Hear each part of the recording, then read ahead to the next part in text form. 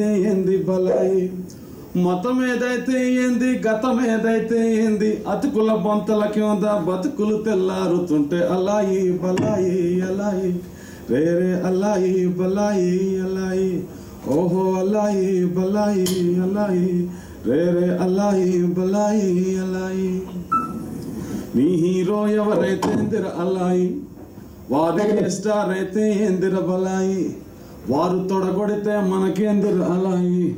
వారు మెడగోకితే మనకేందిర బలాయి అల్లై బల్లై చేసుకుంటూ స్టార్లు దావత్లో ఉంటే ఈ దావత్ అనేది పదం అందరికీ అర్థమవుతుందో ఈ స్టార్లు మంచిగా వాళ్ళలో వాళ్ళు పార్టీలు చేసుకుంటూ ఉంటారు. కొట్టుకునేది మాత్రం కా సామాన్య ప్రజలు మాత్రమే. వాళ్ళ పేర్లు చెప్పుకుని అందరూ కొట్టుకుంటారు. వాళ్ళు మాత్రం పార్టీలు చేసుకుంటూ ఉంటారు.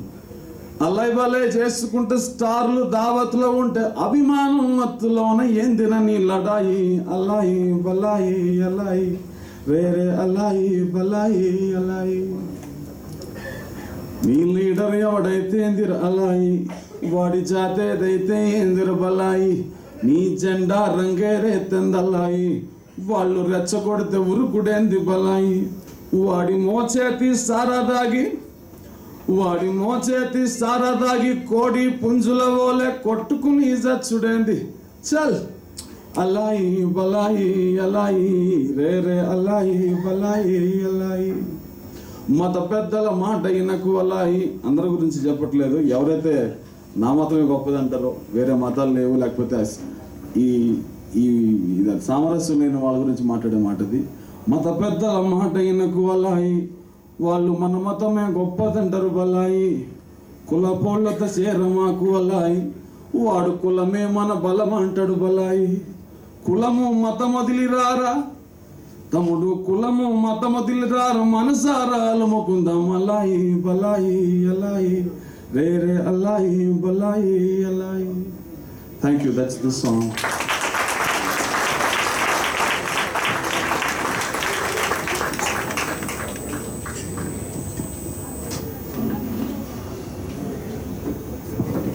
Thank you so much, Ram. Uh, she's now, I think, Professor Gaurav is waiting for us. Shashi, can you just switch on it? Stop. So Professor Gaurav is speaking from IIT Madras.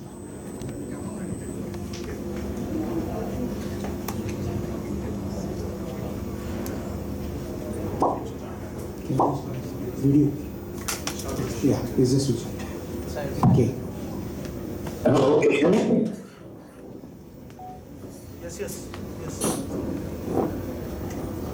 Yes, can I see, can I see the folks there or is it only one way street?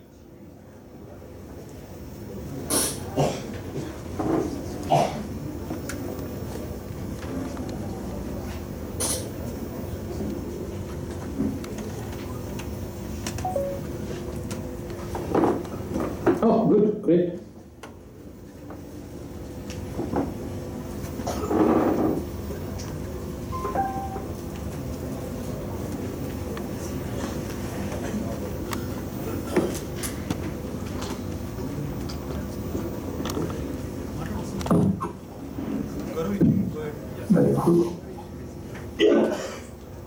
Hello, can you hear me?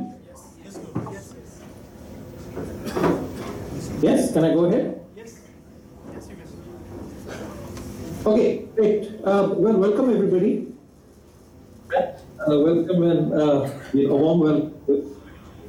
Uh, wonderful way to sort of start the new year uh, with this particular development uh, in artificial intelligence. Let me talk a little bit about what I see as the importance of this use case, uh, so to speak. And I think calling it a use case is perhaps um, you know, not doing full justice to the work that has actually been done. So let's let's start a little bit.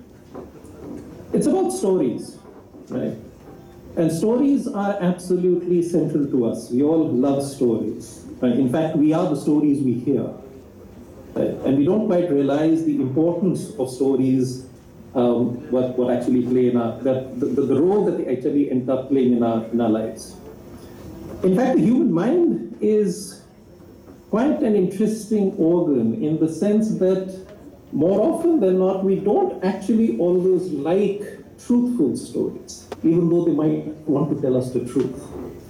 So if you think about Little Red Riding Hood, right, uh, that's a European folk tale, uh, set up, I think, somewhere in the 17th century or so, and it's about, you know, um, you know, what's the moral of that story? The moral of that story is, you know, you've got this big bad wolf, um, and you've got a little girl. And the moral of the story is don't necessarily trust strangers. And that's a very simple story to tell, right? Don't trust strangers. But what we've done is that we've concocted this entire fiction, this fictional story around Little Red Riding Hood in order to convey the message don't trust strangers. So I think in that uh, sense, the ability to use technology, technology like artificial intelligence, to help revive and amplify the impact of stories simply cannot be underestimated. The other thing that is absolutely fascinating uh, about this work is that it is set in a local context with local data, with a local solution intended originally or perhaps initially for local audience, but there's no reason why it can't actually expand beyond the local or the regional uh, area that it could be consumed in. The other fascinating thing about this is its sheer scalability. It starts in one place, right? It starts with Telugu, but given the expertise in building out the solution, it should not be too difficult to actually build an all India, an India scale solution across all Indian languages. And therein comes in a nice opportunity for innovation. Imagine somebody sitting in, in, in, you know, eventually sitting in rural Haryana or in Delhi or in Punjab, wanting to listen to a Telugu story in their own local language.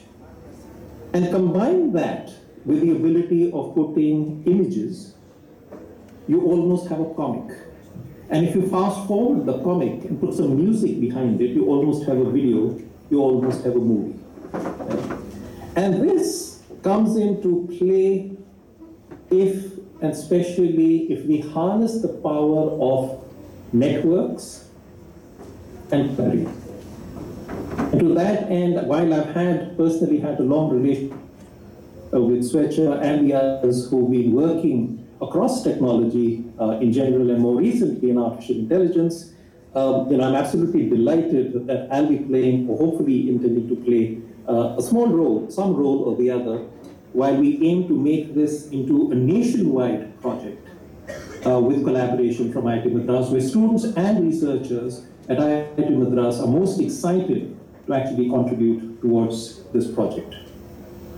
So while it's a phenomenal start, we see this as only the beginning, um, uh, a great start to what eventually could actually turn into, or hopefully turn into, uh, an excellent uh, way of harnessing AI, in particular where we are using local context, local data, and local solutions.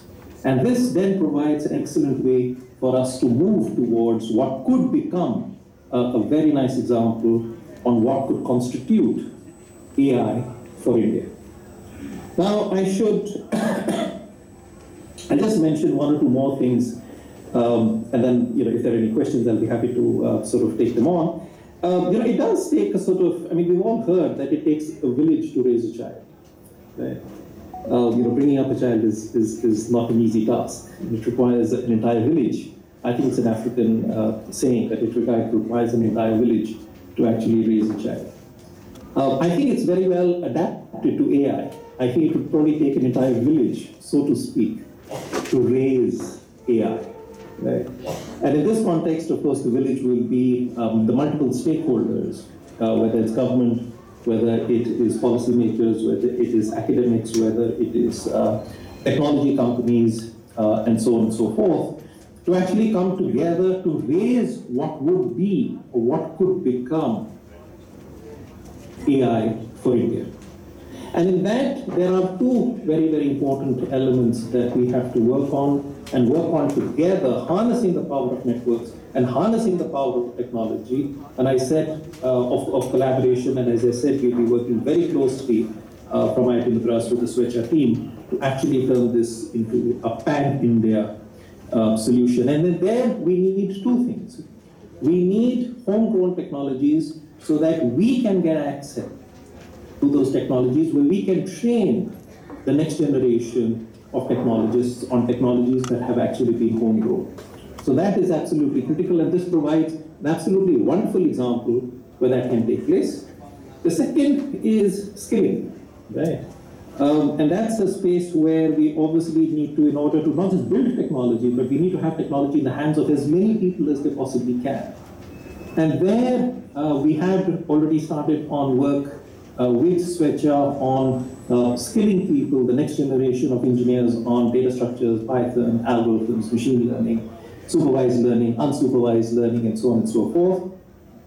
And in that circle, uh, I'm happy to actually say that the first set of internships by people who have been, uh, you know, initially been tested on their skill sets in data structures and algorithms in Python will actually be joining the IIT Madras uh, Research Park uh, sometime this month, right? So in a sense, it becomes a whole ecosystem, right? You, you sort of, as I said, you, you need a village to actually build uh, AI.